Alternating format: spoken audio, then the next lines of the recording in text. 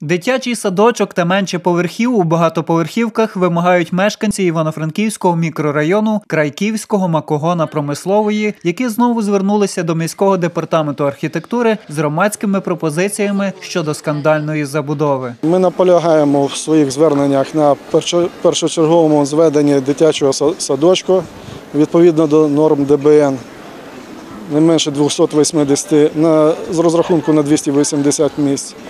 По-друге, зменшити поверховість житлової забудови. Відповідно, е, зону озеленення збільшити і спортивні площадки літнього порядку. Крім того, мешканці мікрорайону нарікають на недостатню увагу влади до спальних районів Івано-Франківська. Немає фактично дітям дитячого майданчика на весь район, щоб погратися. Діти у нас фактично ростуть на вулицях. І не хотілося б бачити багатоповерховий Франківськ, захаращений машинами, щоб потім не можна було не просунутися, не проїхатися.